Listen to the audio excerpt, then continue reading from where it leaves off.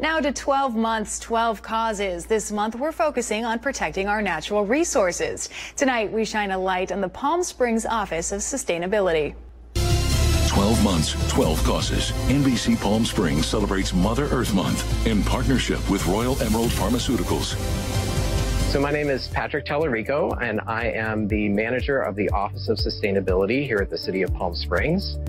And the Office of Sustainability was created about 15 years ago to uh, formally lead and coordinate the implementation of the city's sustainability programs, which range from everything from waste and recycling management all the way to climate change and uh, greenhouse gas reductions.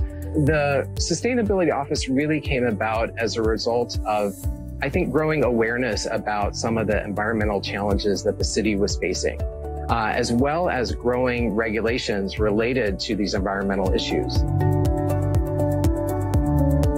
The city's always been a leader in sustainability, and some of the uh, first initiatives that it took on were uh, things like bike infrastructure, so increasing the amount of bike lanes in the city as well as bike uh, racks. They also were a leader in implementing EV charging for electric vehicles to promote them uh, back in the day when they were really just starting out.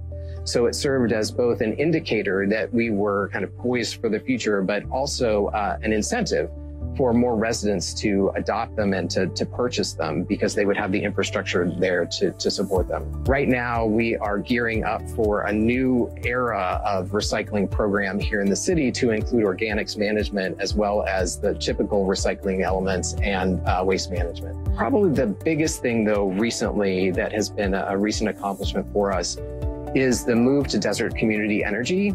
So the city decided a few years ago to move to a community choice aggregate to purchase its energy for the uh, residents and for businesses here in Palm Springs in an effort to move people more towards uh, carbon-free energy to address climate change issues. One of the things that really moved me was our work with the Desert Learning Academy and the students there um, they had done a public service announcement on the impact of ocean plastics on uh, sea life. Not only did they do that public service announcement, they also engaged the city council in that effort. I was really thrilled when I was able to send them a note uh, this last year, or I'm sorry, earlier this year, whenever our city council actually passed our new foodware ordinance, which among other things, it bans polystyrene, uh, foam containers, foodware containers, as well as plastic straws here in the next year. So, um, so it was so exciting to see that um, that grassroots level, young people initiated type of activity result in actually citywide policy that's going to make a difference for, for residents everywhere. So I think for me, the biggest thing is trying to get people to own their environment, right? So we want to make sure that people are aware of their environmental impact and are aware of the right thing to do to reduce that impact.